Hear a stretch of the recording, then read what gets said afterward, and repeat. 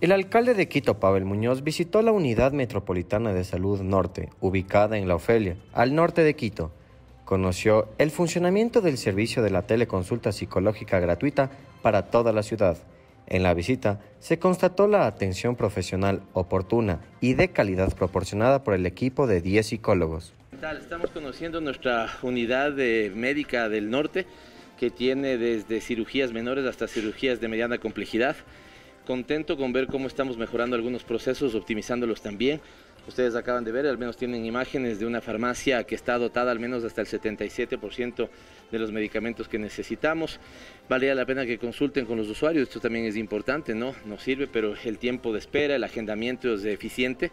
Tenemos un agendamiento que se hace bajo un sistema, con lo cual esto nos lleva directamente ya a la que la historia clínica del paciente podamos tenerla en línea. El reto es ahorita conectar la parte de medicamentos y dentro de este esquema, para nosotros es fundamental incorporar salud mental, ¿sí? Así que vamos a revisar cómo se hacen las atenciones eh, virtuales, pero es un elemento muy importante que tenemos que anunciar.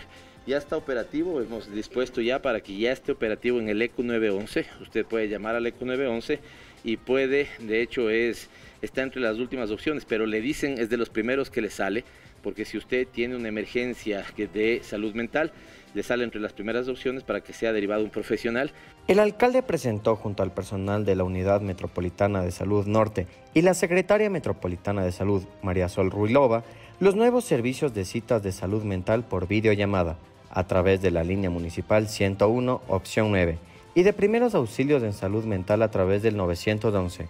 En el recorrido, el alcalde conoció el funcionamiento de la unidad, la misma que opera como un hospital del día con servicios que incluyen consulta externa con 15 especialidades, un centro quirúrgico, diagnóstico mediante radiología e imágenes, laboratorio de análisis y rehabilitación física.